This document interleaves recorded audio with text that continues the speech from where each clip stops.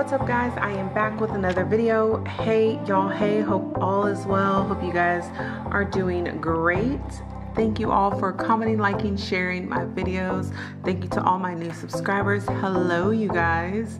And i'm going to be doing some lifestyle videos as well as reviews. I feel like i do a lot of reviews on this channel but i also am interested in other stuff. So i'm going to show you guys this simple and easy breakfast smoothie that i on Yummly. I think that's what it's called, but I also added other things to accommodate my current lifestyle. So this is also good if you are breastfeeding as well because in this recipe I do add flax seeds. So anyways, so to kick this thing off, I start off with a cup of almond milk. Then I do about two cups of fresh spinach. Then I go ahead and add in about a fourth of a banana. This recipe calls for a whole banana, but these bananas were very, very big. So I just went ahead and pretty much used, not a fourth, but I used a little bit over a half of this banana and then the other half I just mashed up and gave it to my daughter.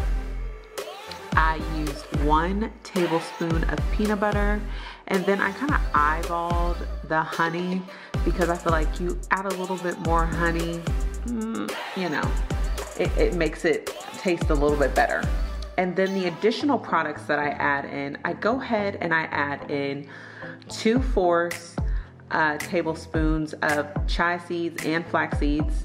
Um, that's pretty much the that's one of the two additional things that I do like to add just because I am breastfeeding flax seeds do help with breast milk production along with like oatmeal and things of that nature. It's a lot of different remedies, but I am still breastfeeding, so I love to add that in here. And then I use this plant protein. It's a pea and quinoa protein powder. That's just to hold me over for a little bit longer. This actually says if you use three scoops, it's 90 calories. I actually only used one because I already had some protein in there. So this was just an additional little mm. I also throw in some collagen powder. It says for one scoop, it's 25 calories. And so I'm a huge, huge collagen person. I love it because it's great on my skin. So I do like to implement it in the shakes. Or And I added three teaspoons of water just to kind of loosen it up. I don't, I don't like really thick uh, smoothies. So I wanted it as loose as possible without being on the watery side and I blended it up.